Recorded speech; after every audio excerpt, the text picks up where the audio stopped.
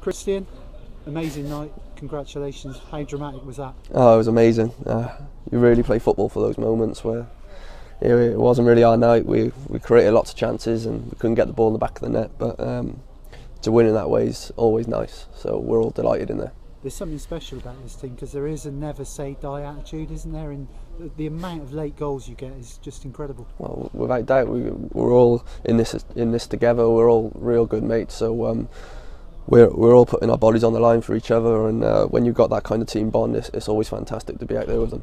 Again, I think that's now 13 goals in the last 13 games. Uh, you're scoring for fun, aren't you? Yeah, well, it's obviously it's a nice feeling to uh, to be on a good goal scoring run, but um, to be fair to the lads, are putting me in the good positions.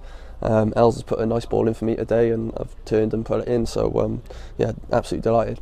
I think I looked at the clock. I think that was the 90 fourth and a little bit minutes because their, their their player had been booked, so there's Yeah. a, a little bit of added time on added time. Yeah, well, I was saying to the boys the last 10 minutes, I said, just give me one chance. And luckily, I got one right at the end. So um, I managed to get the ball in the back of the net. But it was a real team effort today. That They were a lot better than I thought they were going to be. And they put us under a lot of pressure. So um, it was good to get uh, get the three points. And great scenes at the end as well. Yeah, well, absolutely. It showed how delighted we were. And it's good to see the uh, celebrate the fans and stuff like that because we know how much it means to them as well.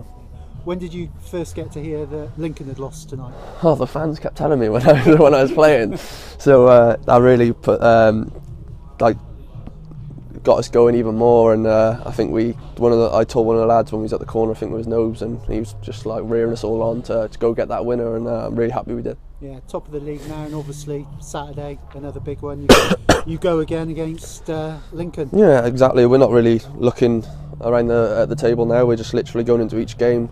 I think that how many games have we got left now? Eight games. So we've just got to literally go into every game and, and try and win every single one. And uh, and, and that's exactly what we're going to do. Okay, fantastic. Well Cheers, Ash. Thank you, mate. Thank you, mate.